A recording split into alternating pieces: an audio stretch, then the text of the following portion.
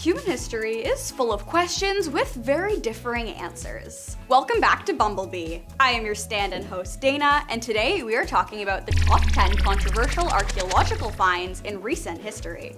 At number 10, we have the oldest human hairs. Human hairs are incredibly tiny, and it's very easy for them to disintegrate, get caught and fall out, or simply be blown away. Before 2009, the oldest known hairs dated back to around 9,000 years ago. But the 2009 discovery of a fossilized piece of matter that had human hairs encased in it annihilated that record. Those human hairs dated back to almost 257,000 years ago. I didn't even know hair lasted that long especially after being digested. That's right, those human hairs were encased in a mound of fecal matter, a hyena's if we're getting technical here. And it was believed that it was the only reason it lasted as long as it did. This meant that humans were a part of the food chain, and not as high as some may have believed. That's why it was controversial, because it rippled what we knew about how the history timeline worked and where we used to sit in the food chain.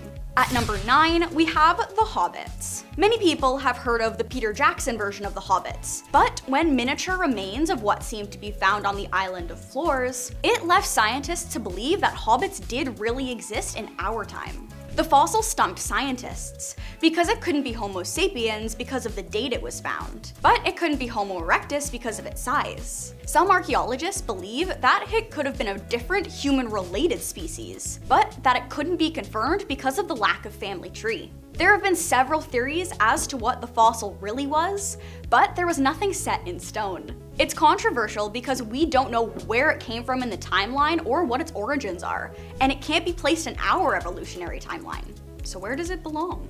At number 8, we have the Copper Scroll. The year was 1947, and two Bedouin shepherds happened to stumble upon a cave where they thought some of their lost sheep may have been. They tossed a stone into the darkness of the cave, and instead of the sheep responding to being hit by a stone, what they heard was the sound of shattering pottery. Of course, now they were curious, and what they found was several clay jars filled with scrolls that were old and weathered. Today, they are known as the Dead Sea Scrolls, and have been deemed one of the biggest archaeological finds of the 20th century. However, there was one jar that was slightly different from the others. That jar contained a copper scroll. That had a cache of silver and gold that would have been worth up to around $3 million in today's currency. And it gave locations where the different amounts were hidden throughout Israel. The kicker is that no one has determined where exactly any of these deposits are. And to add just a hint more mystery, the Hebrew writing on the copper scroll was said to be 800 years older than the scroll itself. It's so controversial because there are so many parts to the find that don't quite fit together. At number 7, we have Egyptian cheese. You may be thinking, how can cheese be controversial? Well, after the tomb of Ptahmes was found in the 19th century, it was promptly lost again because the archaeologist who found it didn't record where it was located. After many years of searching, in 2018, the tomb was rediscovered and reopened.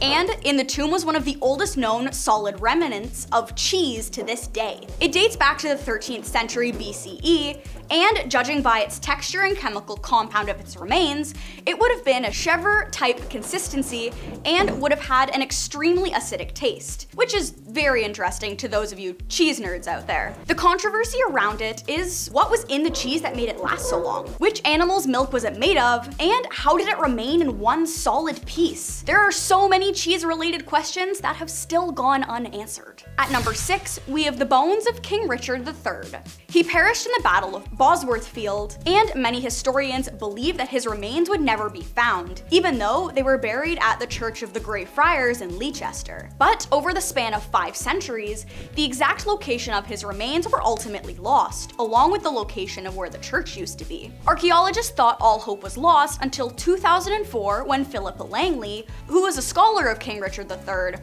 was walking through a Leicester parking lot. Then she had an overwhelming sensation that his remains were there underneath her. After many years of fighting and persistence, they excavated the parking lot in 2012. And wouldn't you know it, there he was, which proved her right. This is controversial because science enjoys proving intuition wrong, so her feeling of him being there was practically unexplained, and some would call it a fluke. But is it really? At number 5, we have the Anglo-Saxon gold. Have you ever scanned the beach with a metal detector? Well, you may want to make it a new hobby, Because in 2009, a man named Terry Herbert had taken his metal detector out to a farm and was just searching around for whatever bits of metal were lying about, when he happened to come across jewel-encrusted weapons and around 4,000 pieces of Anglo-Saxon gold. It was called the Staffordshire Hoard and was worth nearly $5 million in today's exchange rate, which is an insane amount considering he just stumbled upon it in a field. It was dubbed one of the greatest finds in British archaeological history. The controversial part? It wasn't a historian who found it, nor an archaeologist. Just a guy with a really good metal detector. It's a little embarrassing, no? You'd think historians would have gotten wind of a gigantic stash of gold hoarded close enough to the surface for a metal detector to find it. At number four, we have a cover-up portrait of Queen Mary of Scots. She inherited the throne of Scotland at just six days old and ruled for 19 years until she was found out for treason, as she was plotting to end Queen Elizabeth I in 1582. Seeing Queen Mary would have inherited the throne because she and Elizabeth were cousins. Well, she was found out and, well, heads rolled. Because of this, she was removed from the situation, and she was practically erased from history, and painters would often cover up portraits of her with other things to remove her mark. One of these paintings was found, which proved this theory. In 2017, a portrait of Sir John Maitland was x-rayed and underneath him, they found a portrait of the Queen that had gone undetected for up to 400 years. This wouldn't have been discovered if historians didn't have the ability to x-ray paintings and could have possibly been gone forever. At number three, we have the 4,000 year old board game.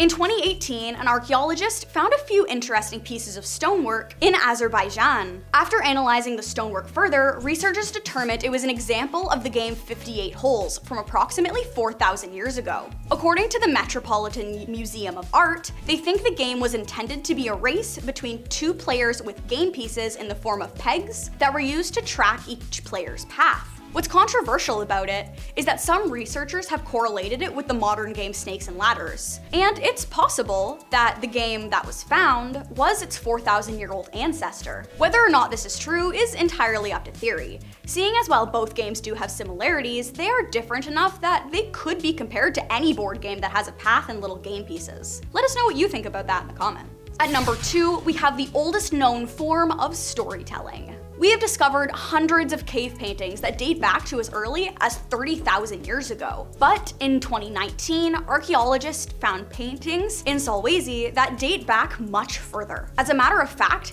they date back to 45,000 years ago. 15,000 years is a really big time gap, and yet the stories are still very similar. The paintings were both humans and animals, like wild pigs and ancestors of cows, and the pictures seem to be people pursuing their food. And that one dated to about 43,000 years ago. In 2021, a cave very close to that one was discovered and had the paintings that dated back to around 45,000 years ago. There isn't much controversy around these, as geological records are hard to argue, especially when they've been preserved as well as those caves were.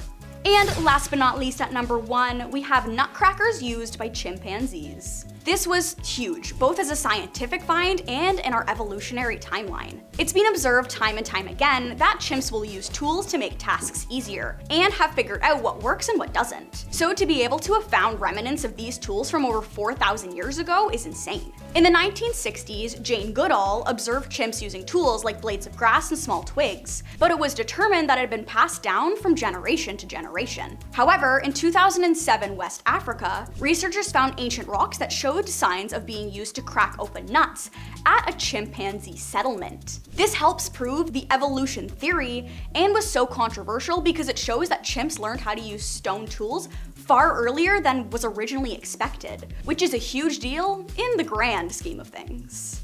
The more we know, the closer we get to having every piece of the puzzle. And that has been our list for today. If there was anything you think we missed, you can let us know in the comments down below. And if you are buzzing for more content like this, you should subscribe to the channel. I have been your host Dayna, and thank you for tuning in to Bumblebee.